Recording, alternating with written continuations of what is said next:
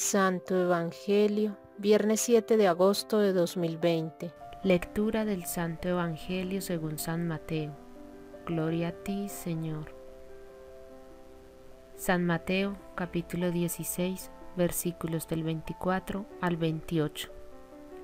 Luego dijo a sus discípulos, El que quiera venir en pos de mí, niéguese a sí mismo, tome su cruz y sígame porque el que quiera salvar su vida la perderá, pero el que pierda su vida por mí la encontrará.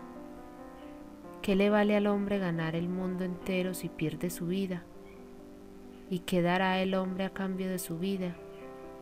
Porque el Hijo del Hombre vendrá en la gloria de su Padre con sus ángeles, y entonces dará a cada uno según sus obras.